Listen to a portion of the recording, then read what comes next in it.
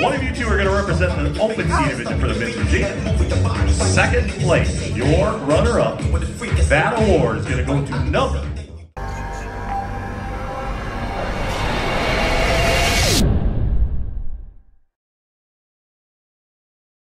What's up guys? It is peak week. Today is Monday and I just wrapped up my last round of cardio. Go ahead and give you guys a little physique update for where we're at.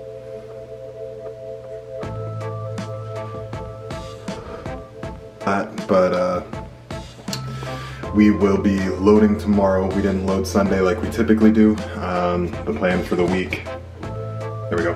The plan for the week is to load Tuesday and basically just carry that fullness throughout the rest of the week. So uh, I'm gonna take you guys with me through the remaining week. Not a whole lot going on today, uh, just a little bit of a pump in the gym and getting out. Let's roll.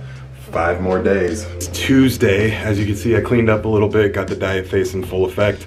Um, yesterday was the last cardio session. So no more cardio for the week. We are loading today. I have a 12 hour load, so that's roughly five meals.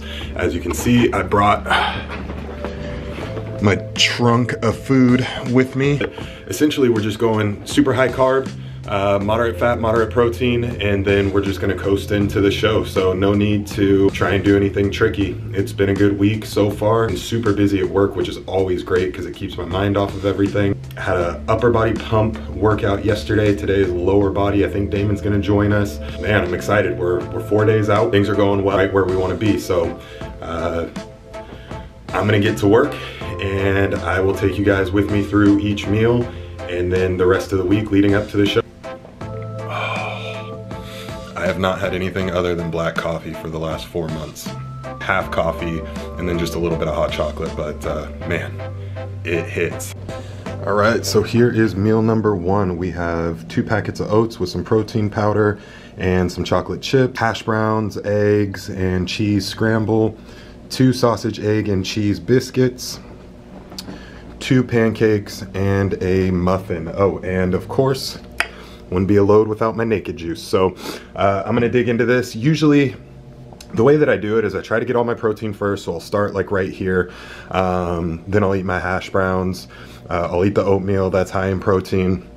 And then I'll get to kind of what I call the sweets, so the pancakes. And if I'm still hungry, I'll eat the muffin or some of it. If not, then I don't. Because again, it's not about stuffing ourselves. We're just trying to get high carbs in. So that is a wrap. Gone, gone, gone, gone. So I don't normally track uh, my load day calories, but if I had to guess, I would say that was probably somewhere around 450, 600 grams of carbs, uh, roughly 45, 50 grams of protein, and then probably 25, 30 grams of fat. I'm trying to keep the fats really low today uh, so that it doesn't slow digestion down, keeping water very high. I've already got uh, over a half gallon in and it's only 8.30 this morning, so I'll probably shoot for two and a half, three gallons. We got that Lonnie's Hey. and that matcha green tea. Awesome, thank you, bro. Yes, sir. All right, all right. I'm gonna grab mine. Yeah, come on in. All right, let's see what we got. Hey, and make sure you go follow my guy, Big Stone 98. Yes. He's getting ready to compete. He'll be mid to late uh, May. Yeah. Yeah, Cascadian. And this is from Lonnie's. Yeah. Lonnie's lunch wagon. Shout out to Lonnie's Lunch Wagon. Oh, I see Musu Musubi in there. That is a brick. Yeah. Oh yeah. Ooh. That katsu. Mm-hmm. Mm-hmm. Man, that food was amazing. I didn't even have a chance to get the camera out. I ate that so fast. Thank you so much. Of course, man. Appreciate it. So we're gonna go hit legs later. I gotta get back to work. He's gonna go chill, get ready, and we will see you guys in a little bit. We're at the gym. Uh, I'm probably not gonna film because I am literally going in. I'm gonna do three or four sets of leg curls, three or four sets of leg extensions, foam roll. It's basically just get a pump and get out. So uh, nothing really of importance or all that exciting to bring you guys along with. Tomorrow I might, but uh, yeah, we're gonna go get this workout in and then it is time to go pick the kids up and head home, grab my pre-workout meal and then the last two meals of the night. So we'll keep it moving. Picked up the munchkins. What's up guys? And we are back at home. I'm getting ready to cook dinner, but before I do that, we have our post-workout, which is Dunkaroo cereal. We have 75 grams of that and about 40 grams of banana with a protein shake that is gonna go in with it. So I'm gonna get this down and then the meal after this will most likely be uh, steak nachos and then I'm gonna cap it off with uh, my favorite meal, which you guys will have to stick around to see. So I'm gonna jump in. I got steak nachos. Um, probably just do this and then hold off until the last meal of the night. So meal number four going down. It is down to the last meal and I have my two favorite things. Number one, let me grab it. Mango sorbet, one of my favorites. And then the second thing is uh, I've been saving this um, in the fridge. It's a Keeks Treats and it's a specially made carrot in honor of my guy Neil. So I'll be eating this tonight since this will be the last time I can eat this up until the show. So Neil, this one's for you. This is a quarter pound cookies and cream cookie. And for those of you that have not had a chance to try Keeks Treats I have a couple of videos on here that I've done before uh, with my wife and I actually doing some different testings uh, some reviews so make sure you go check those out. But before we get into that code Devin10 reach out to her save some money. Now here's the trick. Put these bad boys in the air fryer 385 five minutes and you're set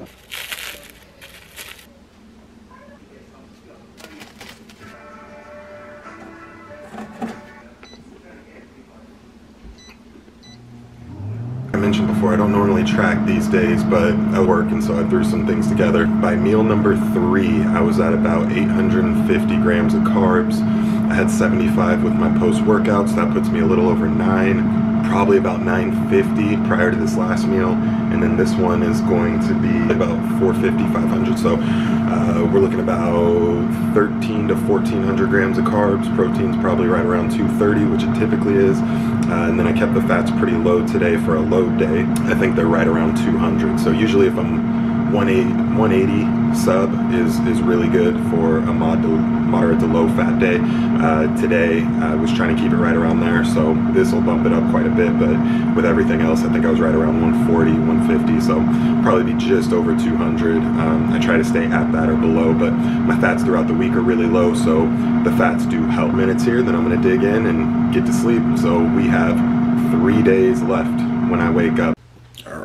It is 6.15 Wednesday morning. I don't have cardio, so I just woke up. But I just wanted to give you an idea of the aftermath of a skip load. I took in probably 12 to 1300 grams of carbs yesterday. Definitely not spilled over, but I am certainly full. Between two, little over two gallons of water and that many carbs, the body is full. So what's gonna happen from here is we will just let the water dissipate. I will come in tighter, sharper, and fuller. Once we pull water, if needed, at the very end, um, probably Friday morning, midday, and not completely out, just lower the amount that I'm taking. It'll allow the rest of the water to flush, and then I'll be tighter, harder, and a little bit more full than uh, a couple of days prior. Here's where we're at.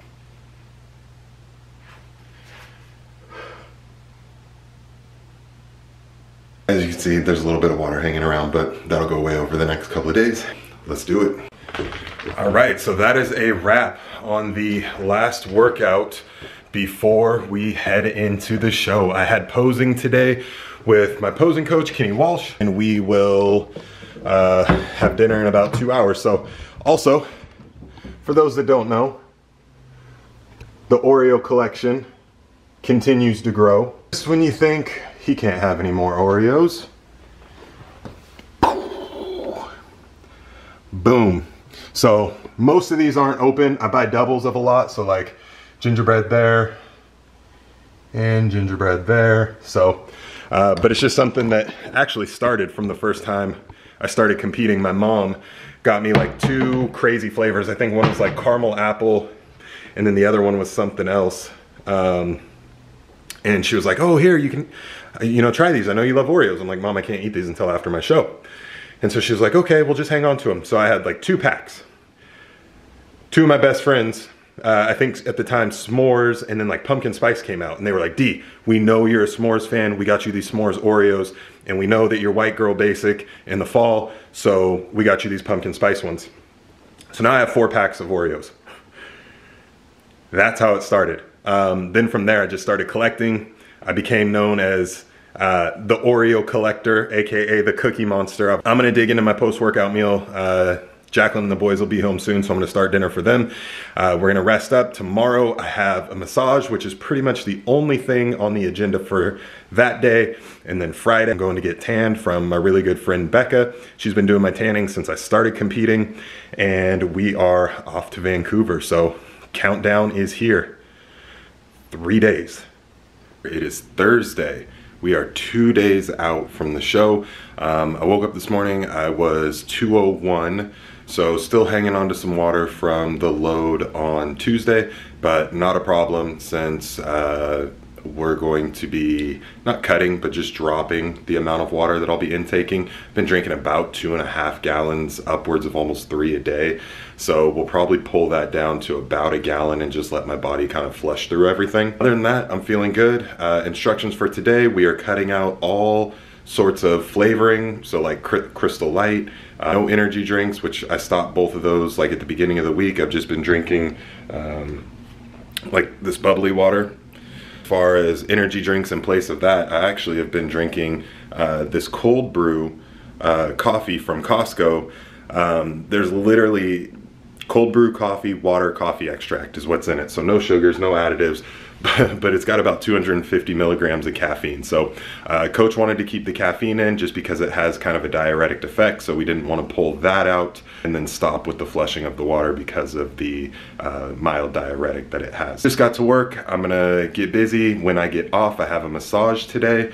So just gonna rest up, get my massage, and then tonight we are doing the body prep work. So shaving, um, just cleaning everything up, making sure that I look good, ready to go on stage. And then tomorrow morning, I am meeting up with Becca so I can get tanned because I know although I am a nice caramel complexion, we got to get dark, dark to get on stage because those lights will wash you out. Whew, just left work. I'm not gonna lie, I'm feeling it today. Um, low carb day and my body is just ripping through the food. I am tired, I'm hungry, um, what I am ready for is to go get this massage right now. So I'm gonna go do that. Uh, and we're at the final countdown. I'm gonna get my massage, pick the boys up. I think the wife's taking Grayson to karate tonight and then I will prep my food and get everything ready for tomorrow. I'm, I'm feeling it. So I'm glad I took tomorrow off. I'm just gonna rest, sleep in, uh, go get my tan, uh, just kind of chill and lay low for the night. So massage time, let's roll. Whew. Wow, that felt amazing. I'm not gonna, I need to be able to break the fascia up around my shoulder blades and my lats so that when I hit certain poses, I can, I can really expand the muscle. And when the fibers are tight and you have broken up fascia in there, it doesn't allow you to fully stretch. A ton of people said you gotta go to Amy's Chinese massage. So shout out to them. This lady had an elbow that would have made The Rock jealous. Her mission was to get every knot out of my shoulder blade and my lat was on the table. She, I mean, it, it was crazy. Who would have thought she was LeBron James going into the fourth quarter down by 10. She, she had to take a minute. She was breathing so hard. Shout out to Amy's massage. I feel so great. That's exactly what I need. I was there to get the shit broken up out of my back and she did that. So enough of that. Uh, we're gonna go pick the boys up and then I'm gonna head home and eat and that's probably gonna be it for the night. So I'll catch you guys tomorrow. We are two days out. Tomorrow's one day out and it's gonna be a fun ride. So I was telling my wife this morning, this is the first time in probably all my shows that I felt really confident going into it. Um, other than my very first show. I remember how confident I was going into that. We hit the, the nail on the head for this one. We're right where we want to be, coasting in. Everything's going well. Um, I was telling her it's it reminds me of when I was playing baseball in high school or college and just that feeling you get before you go into the batter's box where it's, you know, no matter what this pitcher is getting ready to throw, I'm hitting the ball. And that's exactly where I feel today. You know, there's a little bit of nerve. I'm excited and I'm, I'm ready to get on. And I can honestly say without a shadow of a doubt that the package we're bringing is the absolute best package. Um, so we'll leave it up to the judges, but the goal is to bring something undeniable and uh, we'll see if that's the case. So we are headed to go see Becca. We're almost there. Um, I've known Becca for ooh, a little over 10 years now, um, since college. A cool, down to earth friend. Um, she started kind of her own little tanning business, and from the very first show until now, she has done every single one of my tans. Um, I trust her, she always gets the best product. So that's where we're headed. Um, and then we will go from salted caramel to uh, dark chocolate. With Becca, who has done my tanning since show number one back in like 2014 or 15, I think. Yes. And so she's gonna take care of me today.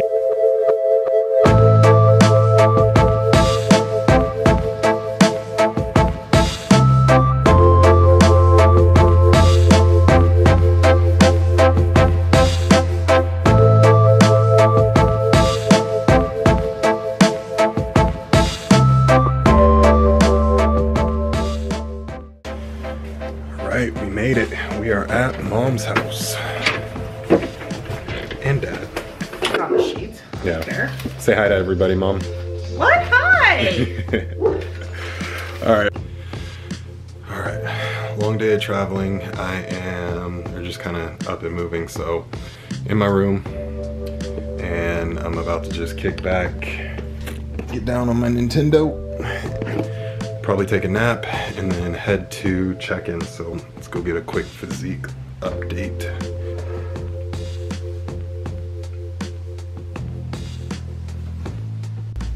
Oh, Alright, I just woke up. It is 6.45, 6.50. haven't looked in a mirror yet, but I've been peeing all night, so I feel like I'm pretty dry. It's show day. Um, guy down, let's go take a look and see what we're looking at.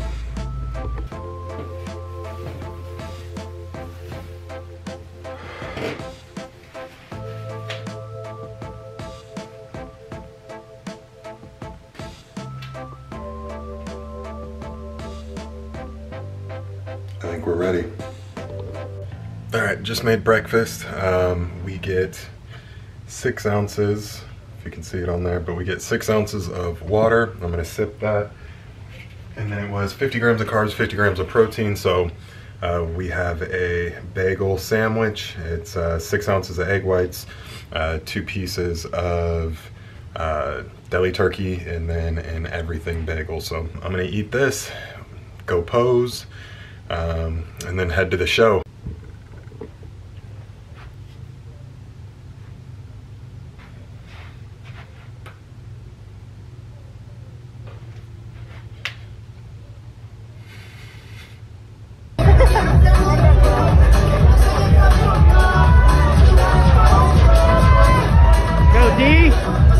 gentlemen.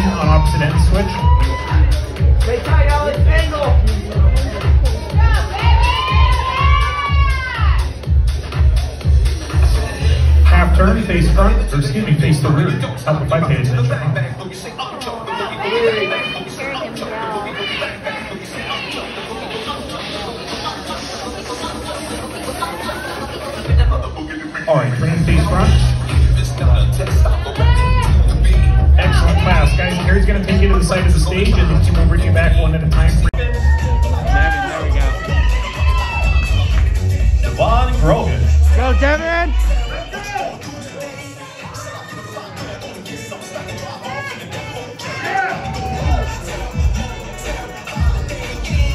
Yeah, he did my, um, he was in my All right, next division, third place, excuse me, number 118, Alex Chalbea. And here we go, the top two. One of you two are going to represent the open C division for the team. Second place, your runner-up. That award is going to go to number 105 WD Jackson. Your winner, number 128, Devon Grogan. Alex Hammerstraker fourth, Alex Chalbea third, WD Jackson second, and the winner of the C division Oh, it's not unanimous, Chris says. Winner by way of split decision. That award is going to go to Top Gun Zone number 63, Chandler Knight. Chandler Knight. Yeah. All right, we did it. We're done. Yay! Thank you so much for coming. So I took first place in my class and I lost the overall uh, on a split decision. So we were right there, but it's definitely the look that I know I'm gonna bring to the next show. I passed out three times before the show. Uh, went to the bathroom and the protocol we had was to eat a sausage McMuffin with egg and drink six ounces of Coke 20 minutes before I went backstage and I thought I'd go to the bathroom and then come eat. Passed out in the bathroom. The guy was like, are you okay? I was like, yeah, yeah, I'm fine. Stand up. I take six steps out of the bathroom, pass out in the hallway. They finally get me up. One guy comes to assess me. I'm like, no, I'm fine. I'm thinking there's no way that I'm gonna let them tell me I can't get on stage. They get me a chair, I sit down, Jacqueline comes over, and she's trying to help me out. I pass out again while she's talking to me. So I finally eat the sandwich, I drink the Coke. Um, shout out to Harvey Athletics. Um, he gave me a bag of chips, told me to get some salt. Uh, one of the ladies backstage that was doing tanning said the same thing. She was a nurse.